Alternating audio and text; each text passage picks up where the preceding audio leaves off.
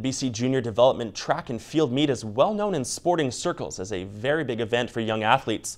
The local Athletics North Club has been preparing all season, and it's a group of junior competitors ready to take on the best in BC, while also becoming much closer as a team. For the young track competitors at Athletics North, this week's Junior Development Meet is an exciting time. For some of the younger athletes heading to Surrey, it's a much anticipated event. It's always a lot of fun, and you I guess you learn new things. I learn new things every time, so it's just more fun. Each meet it just gets even more fun. The meet brings together the best of the best, but that certainly doesn't intimidate 10 year old McKenna McQuinney. I've been doing track for a while, and it just brings joy to me, and it, I'm excited when I do it, and it's just my thing.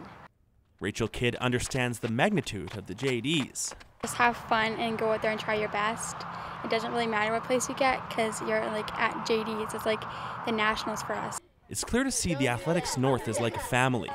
Having the more experienced competitors in Surrey can only benefit the younger athletes. They're great role models for the little guys, and they just look up to them. And it's inspiring because that's who they want to be. Help them have fun, encourage them for their race, help them get ready. And Nine-year-old Farah Mahmood will be attending her first ever track meet. This is my first time going to a track meet, so I'm really excited. I get to hang out with all of my other teammates who are doing it, and we have lots of fun. Coach Steph Gwynn has urged her students to push themselves and try to improve. To have personal bests, um, to have fun.